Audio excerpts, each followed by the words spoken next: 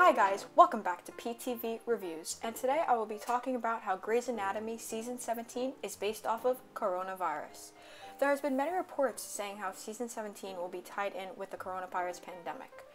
Ellen Pompeo, known as Meredith Grey, has recently posted a picture of her and co-star Richard Flood, also known as Cormac Hayes, showing them both in masks. This actually makes me very excited to see because I love how the show is tying in real life problems, which is showing the viewers the behind the scenes of what really the hospitals went through during this pandemic.